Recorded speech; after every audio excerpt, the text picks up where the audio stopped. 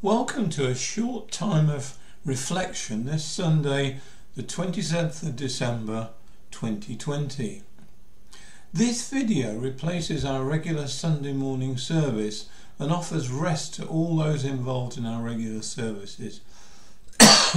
in particular, Jeanette and Paul, who have worked so hard to lead the church forward through such an unprecedented and challenging year. Our theme this morning is restoration. And you know, the world may be falling apart, but God delights in positive change, repair, and healing. Jesus Christ came to earth as a baby to put things right. So, in a sense, Jesus the carpenter is in the restoration business. And more on that later. And here we are, we're standing at a junction between two years. 2020 defined by COVID and lockdown,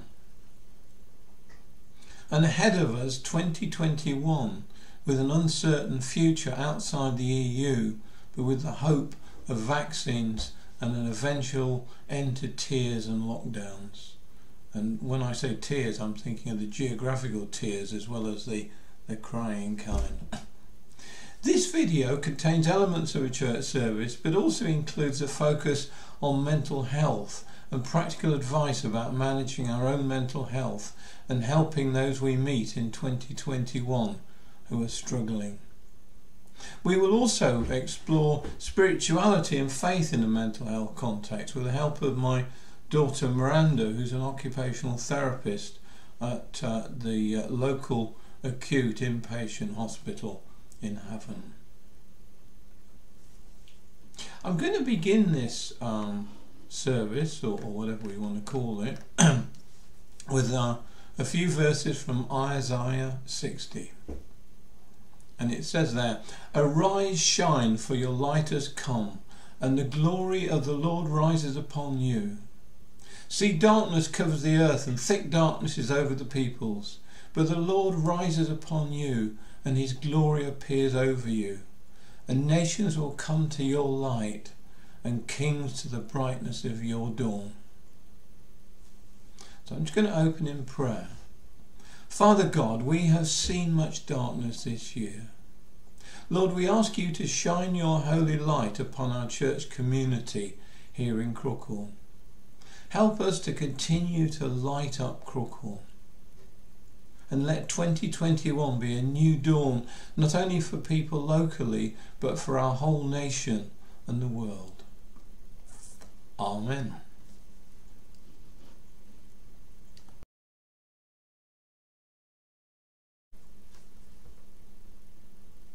We now come to our reading, and I'm going to ask my dear wife here, Vivian, to read for us. The readings taken from the book of Isaiah, chapter 61. I delight greatly in the Lord. My soul rejoices in my God. For he has clothed me with garments of salvation and arrayed me in a robe of his righteousness. As a bridegroom adorns his head like a priest, and as a bride adorns herself with jewels. For as the soil makes the sprout come up, and the garden causes seeds to grow, so the sovereign Lord will make righteousness and praise spring up before all nations. For Zion's sake, I will not keep silent. For Jerusalem's sake, I will not remain quiet, till her vindication shines out like the dawn, her salvation like a blazing torch. The nations will see your vindication, and all kings your glory. You will be called by a new name that the mouth of the Lord will bestow. You will be a crown of splendour in the Lord's hand, a royal diadem in the hand of your God. Well done. I'm now just going to give my wife a, a piece of her favourite black chocolate uh, as a reward for such a wonderful read. That was my fee. God always wants to bless us, and He wants us to discover who we really are in Him. And the passage that Viv just read to us is all about restoration. Isaiah 61 verse 10 says, For he has clothed me with garments of salvation and arrayed me in a robe of his righteousness.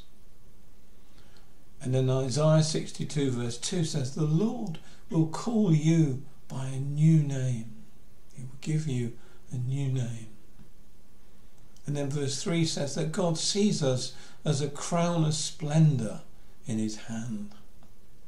So, you know, the message is that we are precious to Him and we are better than we could ever possibly imagine. We are full of potential, all of us.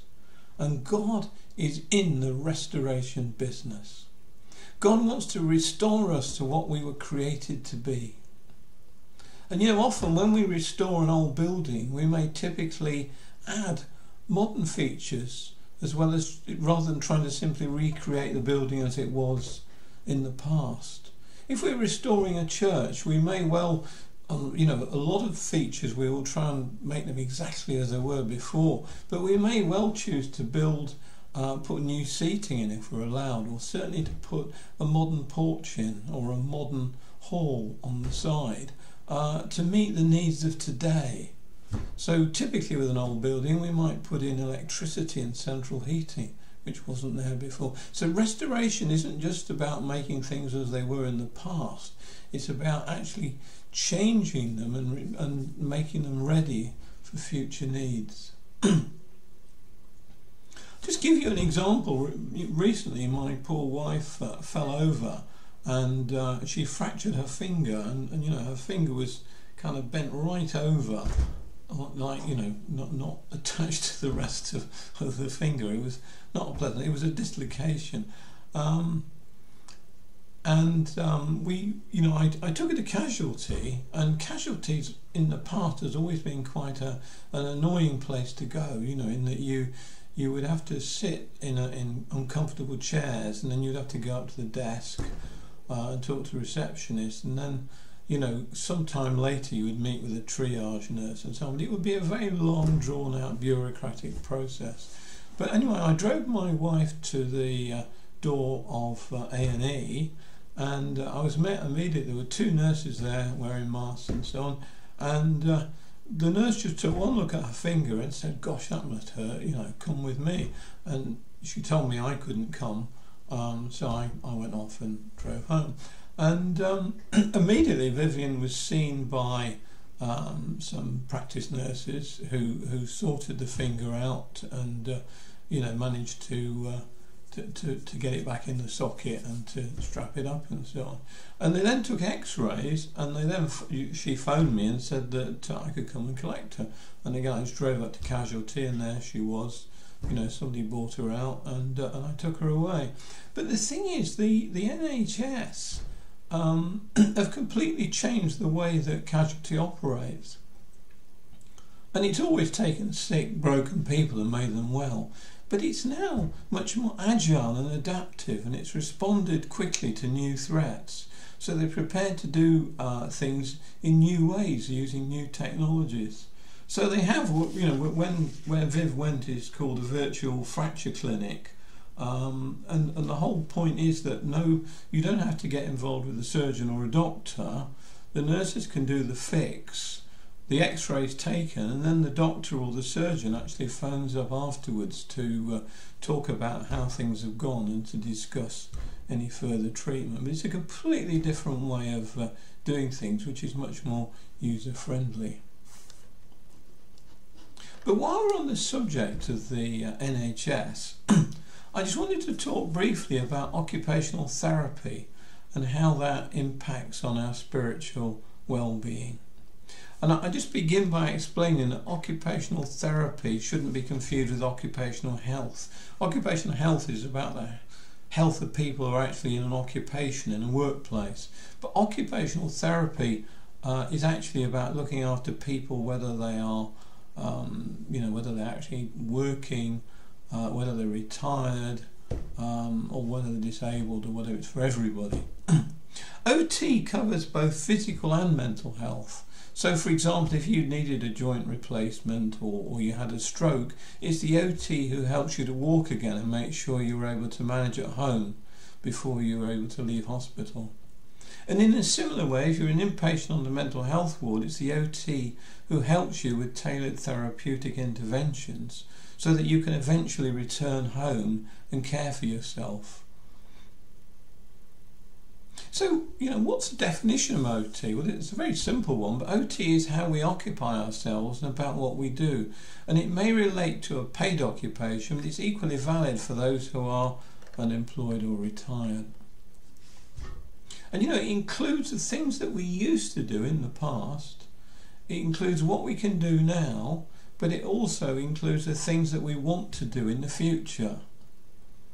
And this is another kind of a very simple um, statement, if you like. But in a nutshell, the OT says, I can help you with that. So whatever the issues that you're concerned about, the OT is the person actually help you to uh, to fix that problem or to work around it or whatever. And my daughter Miranda, although not a regular churchgoer, talks often about shining a light as an OT, in you know for people in a dark place, and also about being the hands and feet of Christ. Now, there is a well known model of OT um, which is quite simple, and it was put together by somebody called Ann Wilcock, I think, who comes from, it's Canadian. Um, but she talks about doing, being, becoming, belonging, and that's just a summary of what OT is about. Uh, and the reason I mention this really is because what I want to do as I go through the categories is explain how they relate to Christianity and our Christian walk and how this model can actually help us to be a balanced Christian, you know, a Christian who's who's not focused on one particular thing like works. So if we start with doing, doing is about actions, it's about activities, it's about typically the workplace. But connected with doing, there's also the negatives that if we're not doing, we're bored, we may be stressed, we can be anxious. If we then look at doing in terms of Christianity, well, it's the works that we do as Christians. We visit the sick, maybe, we lead worship, we might help in a food bank, we might do youth work, uh, we might look after the elderly. And then the second category is being. And being is the exact opposite of doing in a sense. It's existing, it's spending time in solitude, and it's time to, to dream and to think new ideas. And of course, in Christian terms, that means prayer, but even more importantly, it means just being still and knowing who God is. You know, be still and know that I am God. And actually hanging out with Him, not actually interceding and, and, and working through our Bibles, but sometimes it's just sitting on a seat in a beautiful place and being aware of His presence and His love. And that's what God wants us to do more than anything else. He wants us to hang out with Him and know Him as a friend. And this third category is becoming. This is what, what, what our aspirations may be. It's about developing, it's about progressing, and it's about changing. And in Christian terms, of course, that means discipleship, doesn't it? This walk, you know, we don't stay as baby Christians uh, as new believers, but we actually learn more about the Bible and we actually seek to find a calling, a mission. What's God asking me to do with my life for Him? And then finally, we have belonging. And this is really about being part of something, about community, about activism, about shared belief or purpose. And this is so important, you know, if we're going to be uh, mentally healthy. We need to be part of a community. You don't want to be alone. And if we then look at that in the Christian sense, it's about building community. The church shouldn't just be a closed place where we meet with other Christians almost in secret, but the church should be very open. We should reach out.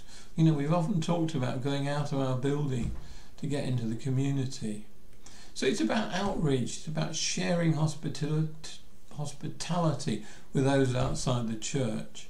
And of course, that's difficult at the moment for us. We do the best we can, but we can't. Um, we, we can't be the sort of community we were uh, before COVID.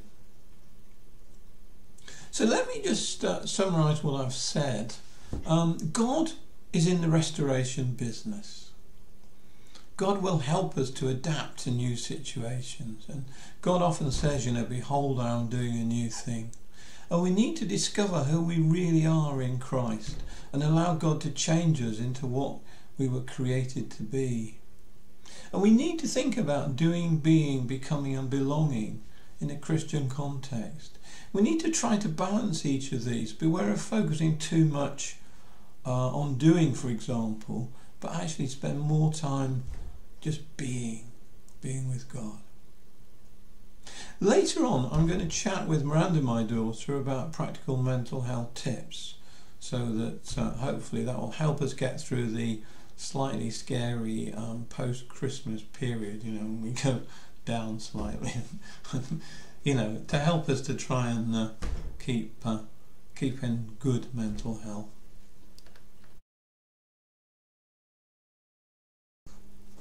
Hi, well this is my friend Ringo and Ringo's going to help me with this little section of the, uh, the video. Video, um, Ringo's just going to show you his uh, rather nice sweater. Ringo's one of those dogs who doesn't mind dressing up.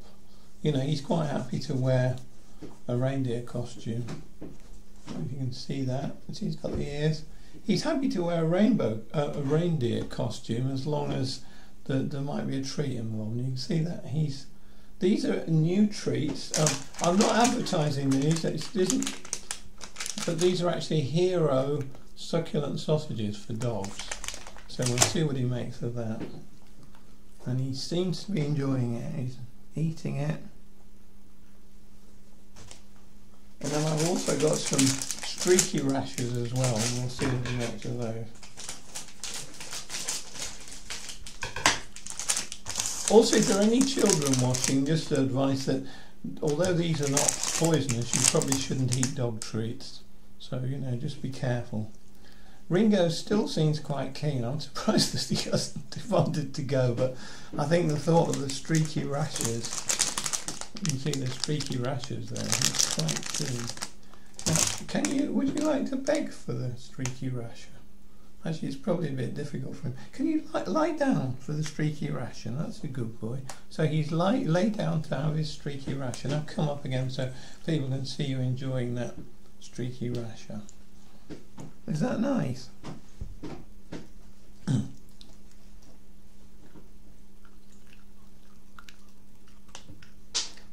oh, he's dropped a bit. There you go. Oh, you're eating the rest of it. What did you think of that? Was that nice? Was that good? Do you want to give me a kiss? Give me a kiss. No.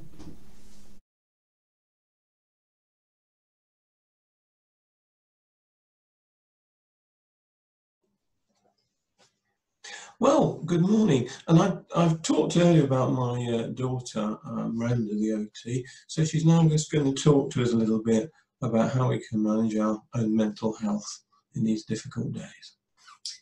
And so I'm primarily going to talk about low mood, uh, anxiety and depression um, because those are the main things that are affecting us. There are more serious conditions, but on the whole, we're most likely to be experiencing low mood, and anxiety at the moment because it's dark times. Um, so another key thing to note is that there's low mood, which is feeling down, but it's something you can manage yourself uh, and you can take self-care steps, which we're going to discuss later.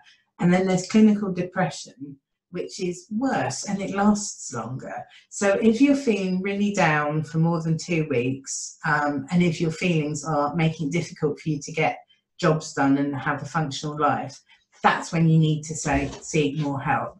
Otherwise, I'd really recommend you just take care of yourself and make yourself feel better. Um, and I recommend NHS Choices. They have a lot of information on low mood and depression and anxiety. Um, and they talk you through the symptoms and help you to figure out if, if this is a significant problem for you. So I'd really recommend NHS Choices um, to help you with that. So a thing that I think is really important and I want to highlight to you is how to get help when you feel you need it.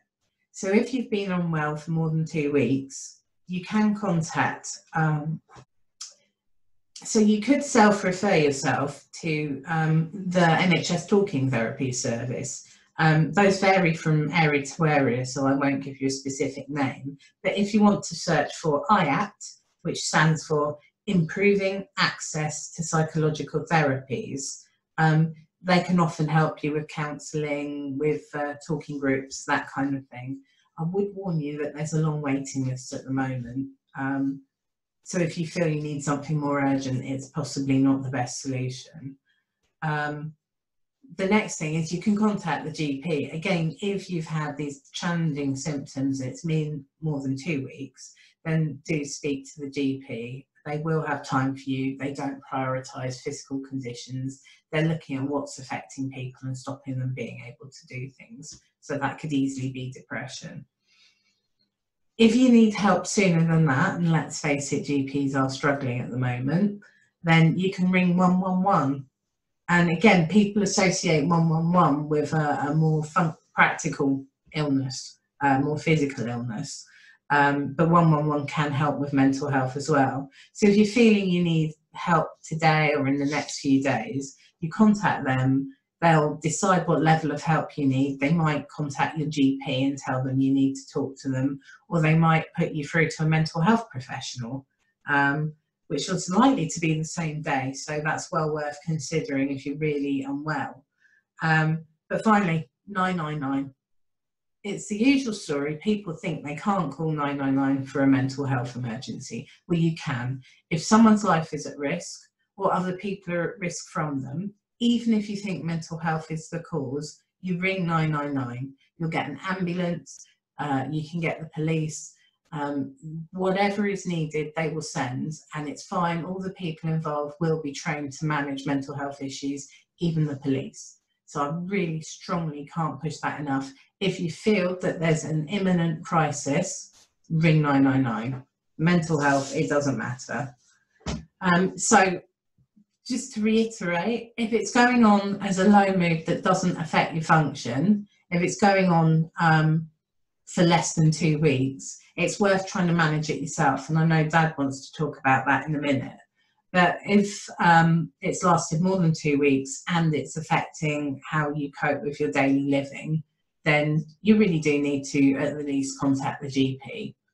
Um, so I can't reiterate that. And also, 999, if it's an emergency, ring 999. Okay, we're just going to finish by talking briefly about low mood. And I think low mood is something that we're probably all aware of in these difficult days. I know I have. Uh, frequent uh, days when I'm struggling a little bit. So we're just going to chat about self-care, really, what we can do. Um, where where would we start, Miranda, with that? What do you think? Sort of like diet? Yeah, I think diet and exercise, they're probably the most crucial things because people are so likely to neglect them and uh, then they become unwell. Yeah, so it's eating good food, you know, things like your five a day and all the rest avoid junk food because that will actually, uh, you know, bring your mood down. Um, obviously, um, be, be careful at how much alcohol you drink as well. Um, exercise is, is a really good way of lifting your mood. Um, I mean, I'm always going on about it, but just, you know, taking the dog for a walk is a, is a wonderful way. And, and where we live, you know, it's walking up to the top of the hill uh, and looking at the view, it really does uh, make you feel an awful lot better. Is it? I mean, there's sort of things like endorphins, isn't there? Come from, uh, you know, when you're actually exercising, endorphins are released and they actually lift your mood. It's a natural high. um, what about um, being productive? Yes, um, it's it's the usual story. People know they experience the feelings, but they don't necessarily relate it. Um, a lot of people in the first lockdown found that they really enjoyed baking and everyone was fighting over flour and sugar and fat in order to bake. Um, and people describe feeling a joy in the process and a joy in completion in having a product that they could share with others. Um, so clearly that is something that people were self-medicating with, even if they didn't realise it. Yeah. I mean, you tried, didn't you?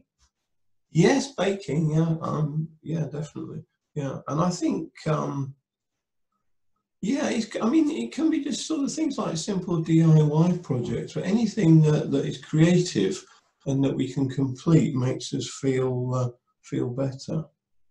Uh, another, I mean, I suppose a more kind of um, less of a doing thing and more about um, being. Being, yeah, which is going back to what we I talked about earlier. Um, you know, it's, it is important to find time to meditate. You know, if we're Christians, we may pray, but it's just being, particularly being still and knowing who God is. But you know, also there are, you know, if, if you're not particularly a Christian, there are lots of ways that we can meditate and, and just be still and uh, and find uh, relaxation. Else is? The final thing is probably belonging, isn't it? Really, if, if you know, we're looking at the, uh, the, the the thing we did earlier. Have you got any thoughts on that? You've skipped two. um, so um, there is socialising there's um, attending church, even if it's via Zoom. Um, I don't know where we'll be at by the time this is broadcast, but um, any kind of socialising, any kind of event, contact by letter, by email, by phone, um, just a sense of being around other people and staying in contact with the outside world, anything interactive really. Um, I think uh, uh thing that Dan's pointed out in the past that's really important is routine, yeah, it? Yeah, just having a routine. Try and, you know, get up uh, about the same time and go to bed at the same time. Uh, and, and the same with, with meals as well, actually eating regular meals rather than just snacking. Yeah, just developing a routine, which you can still vary slightly, but you know, make sure there are particular things that are healthy which you do each day, and don't just sort of uh, you know, lose track of, of time. Um, and I'd also highlight leisure. All of these things we've mentioned are fairly worthy, but leisure is really important. Just cut yourself some slack. Watch some kind of rubbish show, binge watch it on Netflix, whatever it takes. But you know, make sure that you do leave time to have some shamelessly purposeless fun. Yeah, brilliant. A big thank you to Miranda for uh, sharing those tips and, and advice with us. So finally, let's pray for ourselves as individuals. And if you feel lonely, then remember that God loves you unconditionally and has a plan for your life. And if you need help, then don't be afraid to ask for it. You know, many of us are struggling at present, and it's normal to feel anxious, afraid, and fearful with the current world situation and the fact that we are here in tier four, which is particularly onerous and difficult. You can contact NHS 111, a charity such as Mind or your local church. And now I'm going to pray. Loving God, help us to adapt in 2021 to new ways of working, finding new things to do to match our personal circumstances and to help our neighbours and friends. Thank you, Father, that you work for the good of those who love you and that you forgive us even when we cannot forgive ourselves. So let's now just be still for a few moments, and I'm going to ask the Holy Spirit to fall upon us now so that we may experience God's perfect love. And you may just want to hold your hands out as a symbol of your openness to Him. So, Holy Spirit, come now to just speak to us. And Paul tells us in Ephesians how long, wide, high, and deep is the love of Christ. So, you know, that we may be filled to the measure of all the fullness of God. Father God, enfold us with your loving arms and hold each of us close to your heart. We ask this in Jesus' name. Amen. And a final blessing. Lord, please bless us and those we love in these difficult times. Thank you that you are a God of restoration and new things. Amen.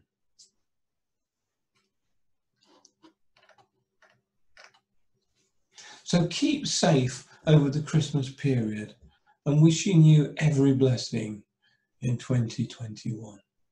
Thank you.